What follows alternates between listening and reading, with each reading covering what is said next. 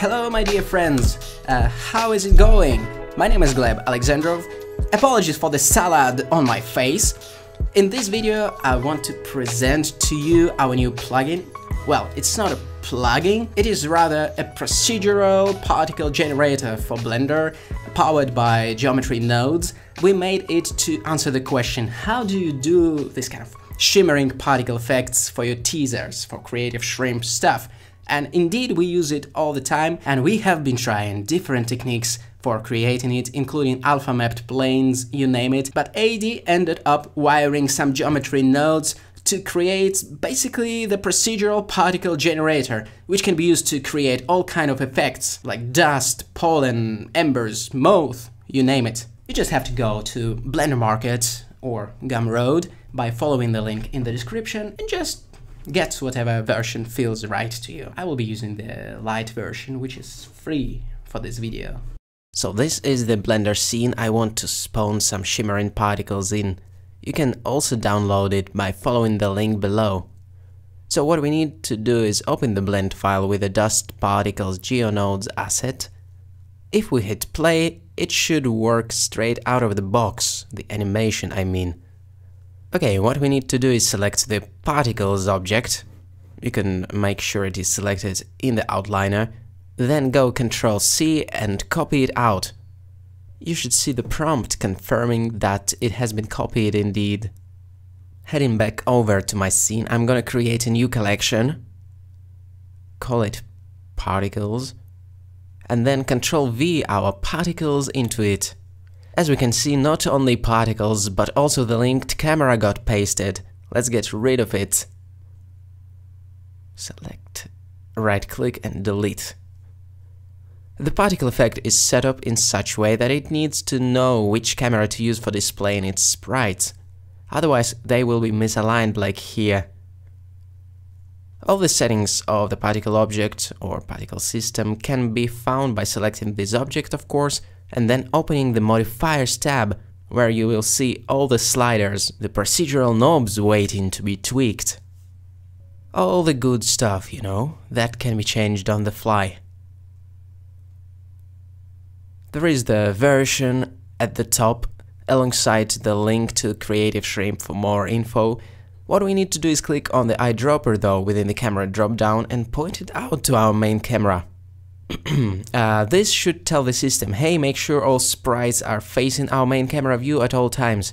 And yeah, now we should see the circles, which again can be set in motion by enabling the playback, uh, but that is something that we'll tackle a bit later. Just wanted you to know it is animated. In fact, it is a real-time effect. If you want to adjust the domain or container size, it is a box basically, so it can be made larger or smaller any adjustments of that sort. You can prove it by going into the edit mode and you will see it's just a box, nothing more.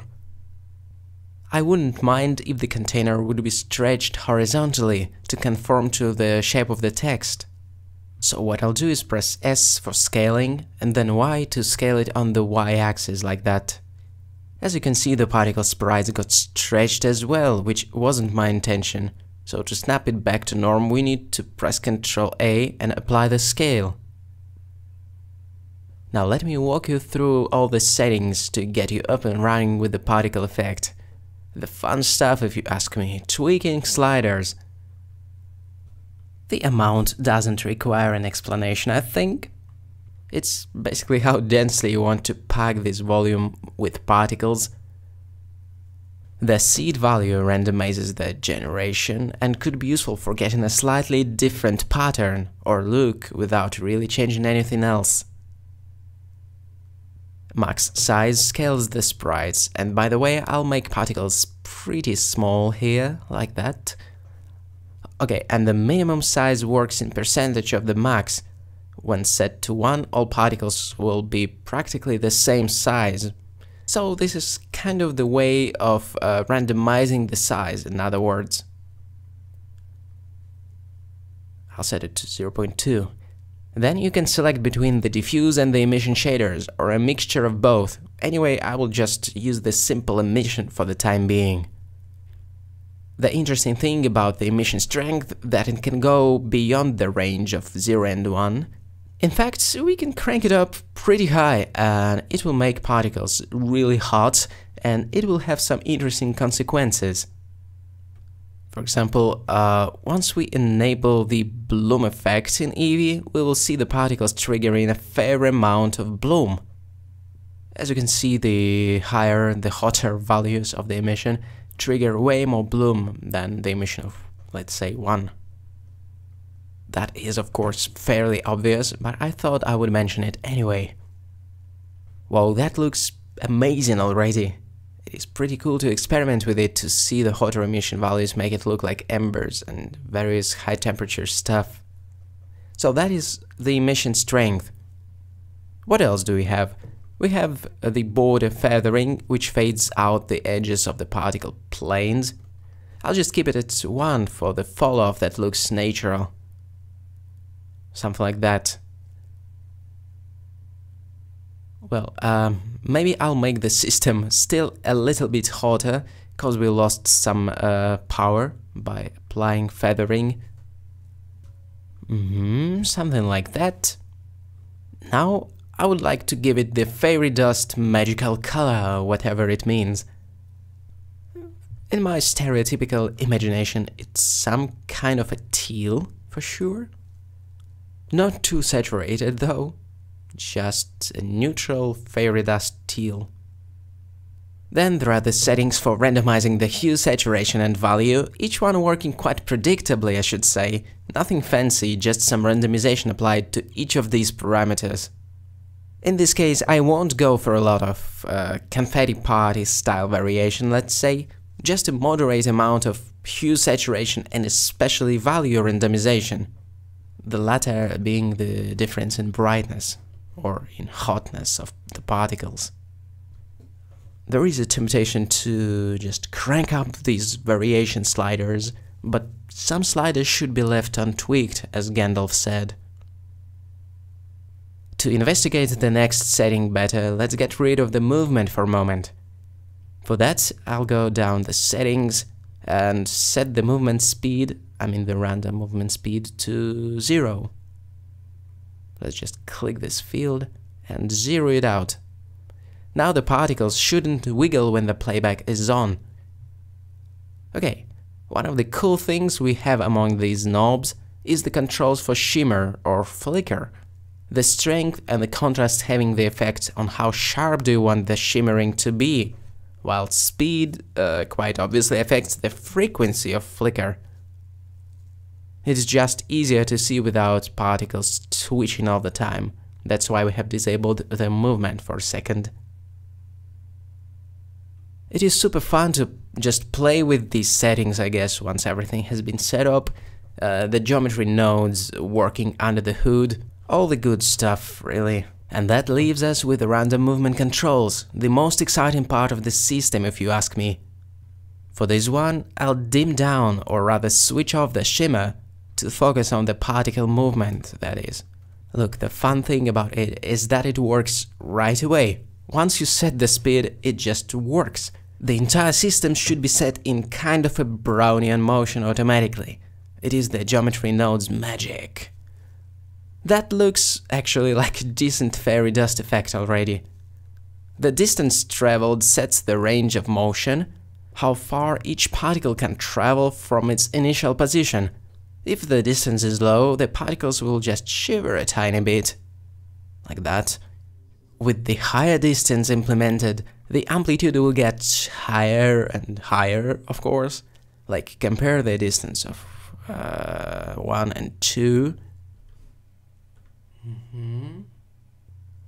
Now, 2 and 4.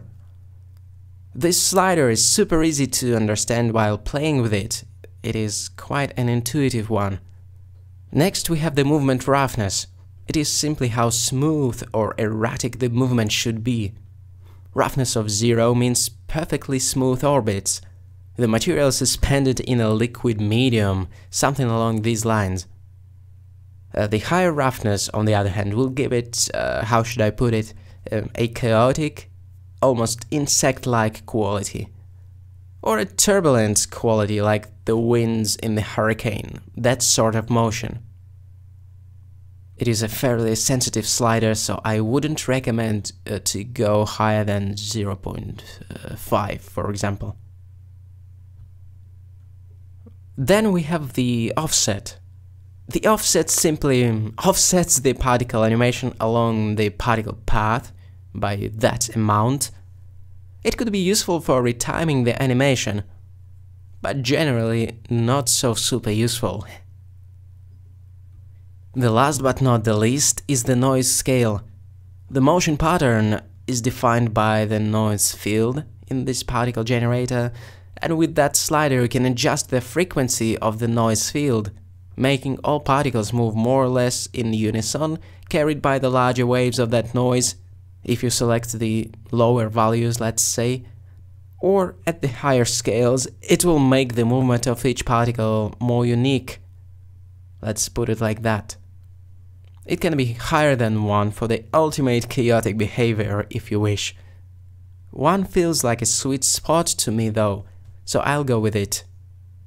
Now I will go ahead and reduce the size of the particles furthermore, so it's just this kind of shimmering. What is so satisfying about the higher emission strength and the bloom effect combination is that now we can really start tweaking the look via the bloom settings like threshold and stuff like that to give it a fairy dust vibe we're going for. Uh -huh, looks pretty cool when bright. But uh, anyway, I will lower the intensity a little bit. You know my fear of the effects that are straight in your face. Alright, now back into the modifier settings. I wonder, will it look even better with a higher emission power though? Let's try it out. There is only one way we can determine it. Well, uh, if that's what you're going for, it certainly can go to extremes. I'll keep it moderate though, so it triggers just a tiny amount of bloom. Alright, now I will go ahead and duplicate the particle system because it's absolutely fine to have a bunch of them with the different settings. As you can see, it has the same seed as the one that has been copied, in other words, it is an exact copy. To change the generation pattern, we have to give it a different seed. Uh-huh.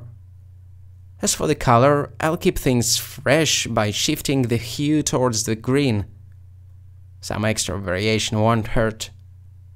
I'll also reduce the amount to just, I don't know, 25 and really crank up the emission strength all the way to 100 units now.